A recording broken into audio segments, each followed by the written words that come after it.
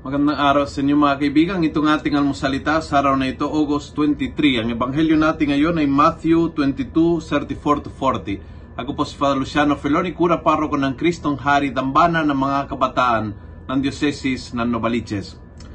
May nagtanong kay Jesus ano ang pinakamahalagang utos at ito ang sagot ng Panginoon. Mahalin mo ang Panginoon mong Diyos ng buong puso, ng buong kaluluwa, ng buong pag-iisip. Ito ang una at pinakamahalagang utos. Ang ikalawa ay tulad nito, mahaling ang iyong kapwa gaya ng iyong sarili. Sa dalawang utos na ito, nabubuod ang buong batas at mga propeta. Ang batas at ang mga propeta, ang kasulatan ay ah, talagang uuwi sa pagmamahal. Kung mayroong tunay na pag-ibig, then ginagawa, tinutupad ang utos ng Diyos, sinusunod ang kalooban ng Diyos.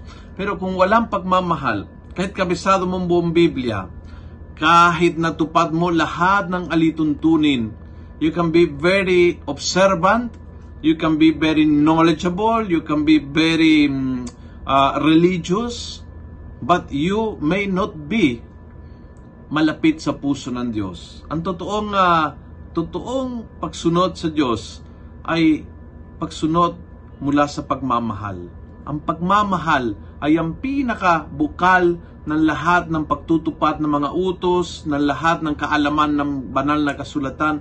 Lahat po yon ay napakahalaga kung nagbubukal sa pagmamahal. So siguro magandang tanungin ngayon, am I a loving person? Meron bang aspeto ng buhay ko o tao na kung saan hindi umiira lang pagmamahal. Yung tipong umiira lang sama ng loob, umiira lang galit, umiira lang puot. Is there anyone na hindi ko minamahal ng lubos? Is there anyone na talagang uh, sama ng loob ko sa kanya, hindi ko kinakausap, hindi ko, pag nakita ko talaga kumukulo ang dugo ko? Because this is your area of growth.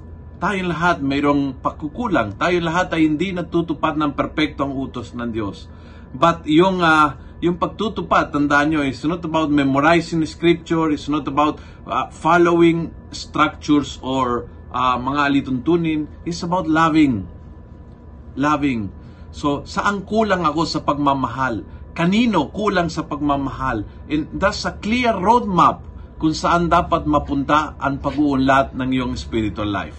Kung nagustuhan mo ang video ito, pass it on punuin natin ng good news ang social media at gawin nating araw-araw viral ang salita ng Diyos. God bless.